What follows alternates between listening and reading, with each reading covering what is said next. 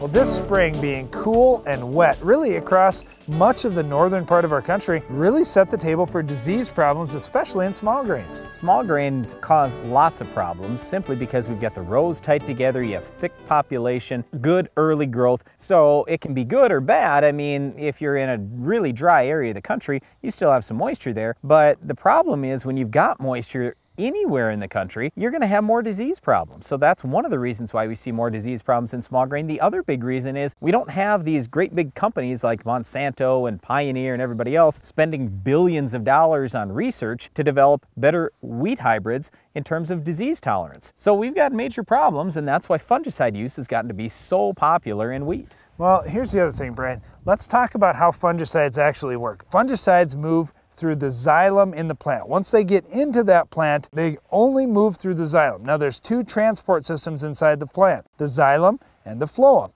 The xylem just moves up. The phloem moves up and down. So when you can only move up in a plant, pretty much all you can protect is what's there today. And that's why you have to have great spray coverage with fungicides. You want to use flat fan nozzles, as much water as you can, use a good adjuvant like Protex, something like that. You have to do everything possible to protect all the leaves, not just some of them. That's another reason why just spraying one time isn't going to cut it in a lot of cases. The three main timings for wheat when spraying fungicides are with herbicide early in the season, at flag leaf, and then at heading or at about 15% flowering, 10 to 15% flowering right in there. At that flowering stage, you have to use a triazole. You can't use a strobilurin. If you use a strobilurin, then you're much more likely to have DON problems. At the other timings, at flag leaf or with herbicide, you can use a strobilurin, a triazole, or a combination of the two. Well, here's the big thing, Brian. I see a lot of guys fall into this category. I say, you know, I'm just going to pick up enough of one thing and I'll just use that over and over again. If I need to spray a little more, I'll just throw some more of that in the tank.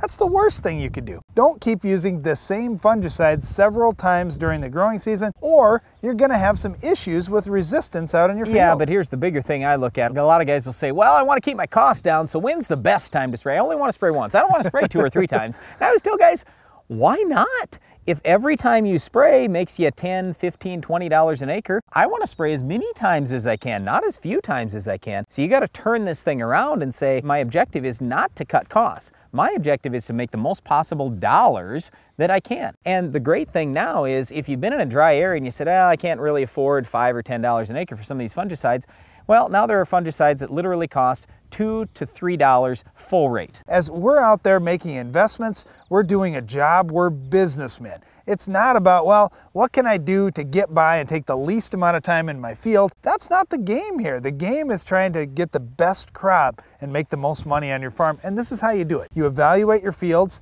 you go through them and you say, where can I improve things? And disease is always a big deal in small grains. Well, the challenge with fungicides is you have to spray before that disease is there. And I know it's tough to pull the trigger sometimes when you say, wow, here goes another $5 or $10 an acre, and I don't even see that disease out there. But in a week or so, your neighbors are going to be seeing that disease and you're not. And you're going to be sleeping better knowing, hey, I made the right decision, I protected my crop, and now I'm going to be set up for more yield. Well, it's great to spray fungicide to increase your yield and your net profit in wheat, but unfortunately, fungicides won't do anything for our Wheat of the Week. We'll tell you what will coming up next.